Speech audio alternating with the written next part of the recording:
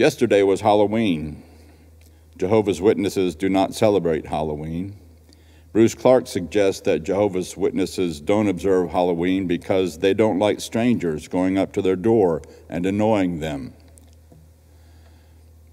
A man went to heaven, and St. Peter was there waiting for him at the pearly gates.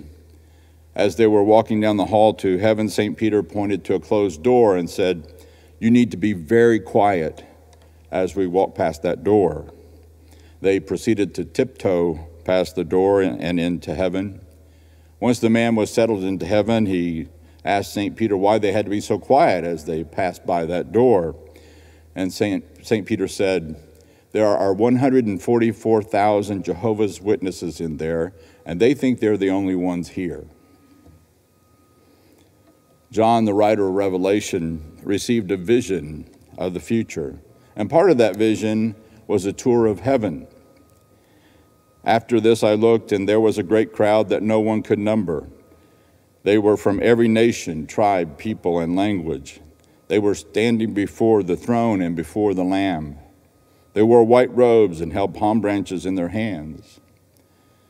John was writing to Christians who had suffered persecution. They had seen family and friends martyred for their faith.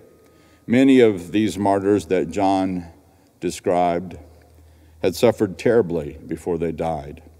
Some died in the arena, being torn apart by wild animals. Others were burned alive. And some were crucified, mocking the way their Savior had died. John wrote the book of Revelation to encourage Christians in difficult times.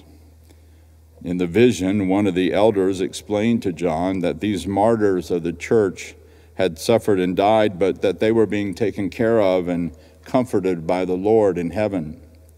It is hard to believe that in our day and time, Christians are still being martyred in other parts of the world. Just this past week, there were three people killed who were worshiping in a church in Nice, France. Estimates differ but all agree that between 4,000 and 10,000 people around the globe were killed just last year because they were Christians. In some places, it is still dangerous to attend church or to identify yourself as a believer in Jesus and a follower of Christ. The elder in John's vision tells him that God will lead these martyrs to springs of life giving water, and God will wipe every tear from their eyes. But is it only martyrs who have received comfort in heaven? Of course not. One of the struggles that many of us go through is to watch a loved one suffer. My mother was in pain for the last two years of her life.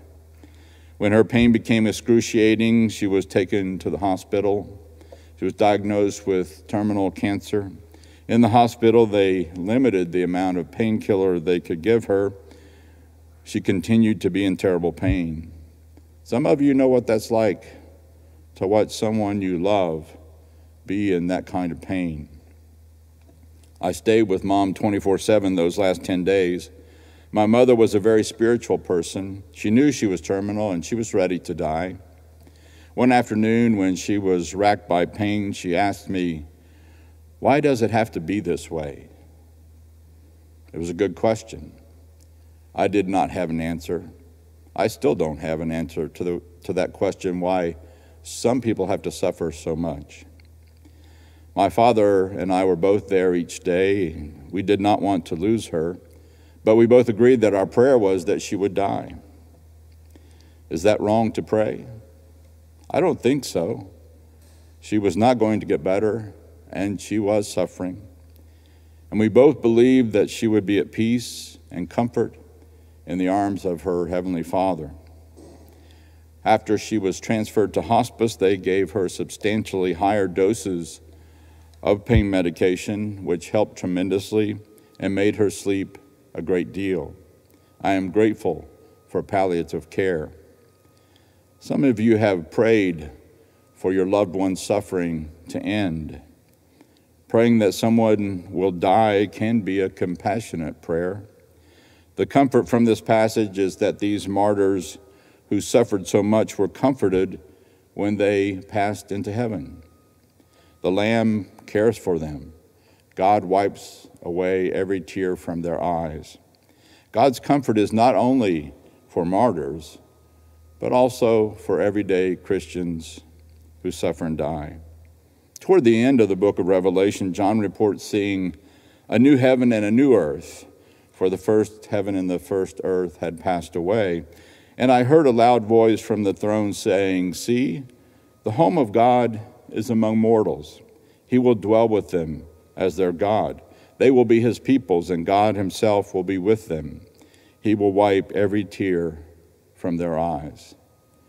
Death will be no more, mourning and crying and pain will be no more, for the first things have passed away. God will comfort all people by wiping the tears from their eyes, tears from physical pain, tears from heartache, all kinds of tears. There will be no more tears in heaven. There will be no more pain. People won't grieve anymore. God's comforting presence fills that holy place. So on this All Saints Sunday, we remember those that we have loved and lost. We give thanks for their lives. We honor those whose lives exemplified the way Christians should live. We remember the good that they did.